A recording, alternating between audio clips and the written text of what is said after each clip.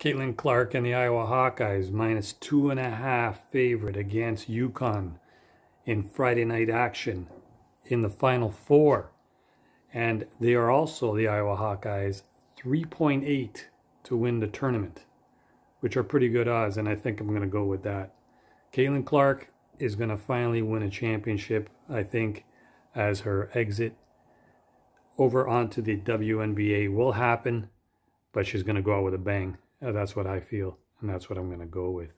But what say you? Let me know in the comment section. Do you think Caitlin Clark is going to win, first of all, tomorrow night's game against UConn? And can they win it outright in the finals at 3.8 if you get on in on it now? Let me know comment section below. If you're new to the channel, subscribe for more. This is Trending Rabbit. Thanks for watching and if you would like more breakdowns, picks and predictions, consider subscribing to the Trending Rabbit channel here on YouTube. We also have a Telegram channel, link will be in the description as well as in the comments. Trending Rabbit never charges for picks as we are all here to get that cash, not pay for picks. Thanks and may the winner be yours.